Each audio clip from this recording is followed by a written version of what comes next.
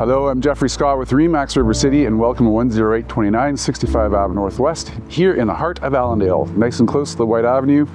U of A areas, this brand new duplex featured 1,400 square feet on the main and upper floors, three bedrooms up, 2.5 bathrooms total. It's got an unfinished basement, but it has a side entranceway. It's been roughed in for a suite. So reach out to me directly for more information. Again, I'm Jeffrey Scott with Remax River City, and this is 10829 65 Ave Northwest.